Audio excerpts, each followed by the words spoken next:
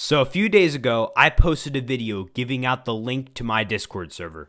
The original link I gave out in that video was set to expire after a couple days. So, I updated the video with a new link.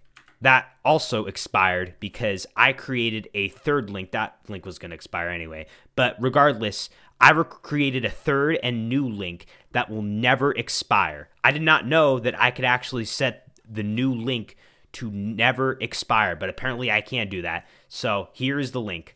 This is the new link that if you put in your browser or if you click this link, it'll take you to my Discord server and it will always work. It'll never expire unless I create a new link, which I won't. I'll update the description and the comment section of the last Discord server video and the description and the comment section of this Discord server video with this link. So far, five of you have joined and stayed in my Discord server. Thank you to all of you who joined and stayed in my Discord server. I didn't even say the full word server for some reason. Like I said before, if you join my Discord server before the end of this month, which is April of 2022, you will get the OG rule eventually. But you have to join before this month ends, all right?